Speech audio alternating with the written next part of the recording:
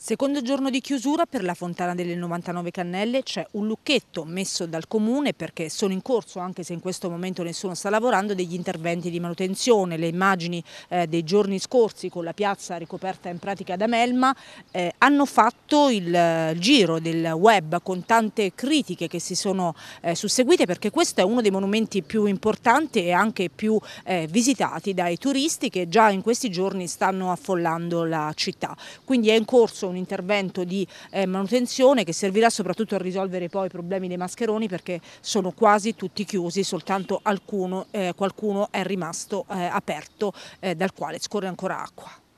Tutte le fontanelle si sono seccate, povero amore mio.